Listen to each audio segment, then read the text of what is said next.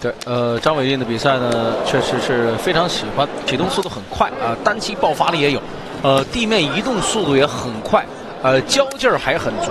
对，手跟后腿的攻击都比较有效啊。但是，我们看这个单击，张伟丽一脚踢在对方啊，你看一个摔法，一个摔法很快啊，哎，看，哦，对方是。啊，那现在没有做其他的动作，双方是在僵持当中。呃，张伟丽，呃，我们看到张伟丽已经把右腿再往里挤进来，想做一个过腿，哦，强力的就这么过了腿。哦，砸击，肘击。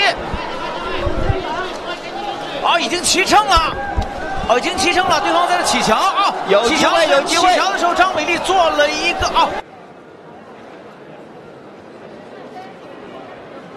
夹住啊，夹住。先控制，别着急，先控制他。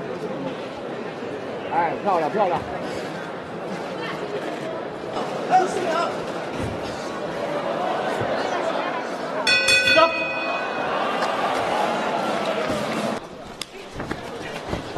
哦，两人一开局就连续换拳啊！对，这种味道啊，是这种大摆拳。哎呀，又是一个很漂亮的勾摔。啊，看看能不能拿到好位置。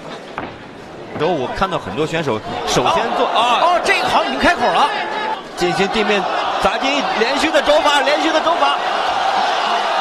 哦，而且你看张伟丽在做砸击的时候啊，身体一直还是在做移动。呃，莉莉娅的转换也很快啊，哎，要做三角角的，呃，没有没有没有没有没有搭上，没有搭上。嗯。